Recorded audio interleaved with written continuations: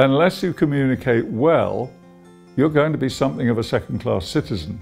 Good communication skills will set you apart, will improve your career prospects, will mean that you have more concise and shorter conversations, that you save time, that you reduce stress. In this course, you'll learn the fundamentals from start to finish of how to construct a meaningful conversation, what to do if it starts to go wrong, how to avoid the pitfalls. In half an hour, you can learn five or six basic skills which will elevate the quality of your communications significantly.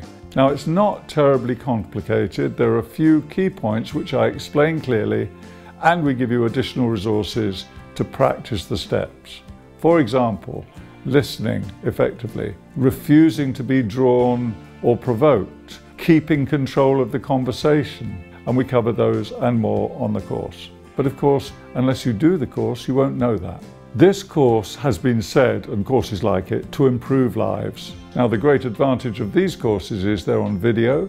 You can do them in bite-sized chunks. You can do them on the commute. You can do them on your phone, on your iPad. However busy you are, I would say you can't afford not to do the course. The better you learn to communicate, the less you need to communicate.